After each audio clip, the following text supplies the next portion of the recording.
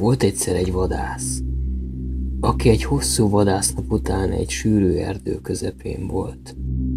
Kezdett esteledni, és a vadász elvesztette a tájékozódását. Úgy döntött, hogy egy irányba megy, amíg jobban ki nem ér az erdő sűrűjéből. Óráknak tűnő ideig tartó gyaloglás után elért egy tisztáshoz, ahol egy kunyhó állt.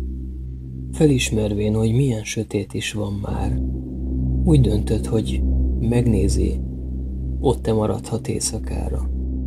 Oda ment, és nyitva találta az ajtót. Senki sem volt bent. A vadász úgy döntött, hogy lefekszik az egyetlen ágyra, ami ott volt, és majd reggel kimagyarázza magát a tulajdonosnak. Ahogy körbenézett, meglepően vette észre, hogy a fal tel is tele van képekkel, elképesztő részletességgel megfestve.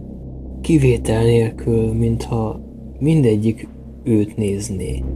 Az arcvonásaik, mintha gyűlölettel néznének le rá. Ettől rendkívül kellemetlenül érezte magát.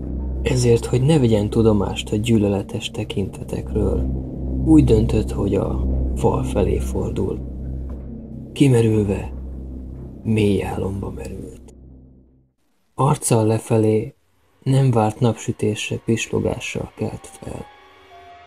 Felnézett, és észrevette, hogy a kunyhóban nincsenek képek, csak ablakok.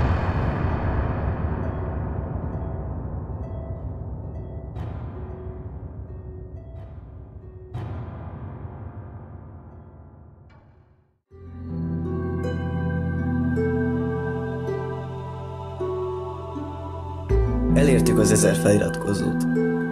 Hogyha van egy saját creepypastád, vagy egy félelmetes történeted, akkor küld el az e-mail címünkre, amit lent megtalálsz a leírásban. És mi szívesen felolvassuk a csatornán.